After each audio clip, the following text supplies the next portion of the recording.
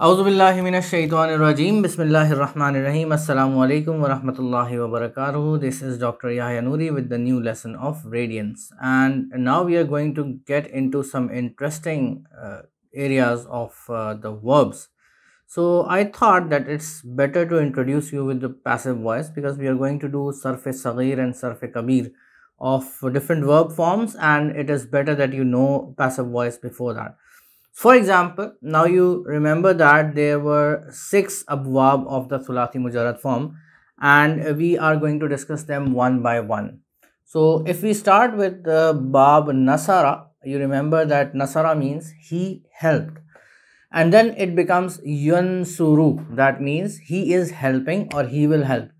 So it when it is converted into passive voice, it becomes Nusira Yunsaru. In the same way, if we talk about daraba, that means he hit. Daraba yadribu. He is hitting or he will hit. Then it becomes duriba yudrabu. Third one, fataha yaftahu. He opened, he will open or he is opening. Futiha yuftahu.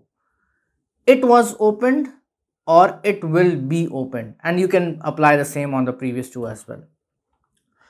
Then Sami'a Yasma'u. He heard, he is hearing or he will hear. Sumi'a Yusma'u. The fifth one, Hasiba Yahsabu. It becomes Husiba Yuhsabu. And the last one, Karuma it doesn't have a majhul form or it doesn't have a passive form because of certain reasons we are going to discuss when we will do the gardan of uh, these uh, um, abwab and we'll talk about bab karuma in detail inshallah. So that's all for today. Assalamu alaikum wa rahmatullahi wa barakatuh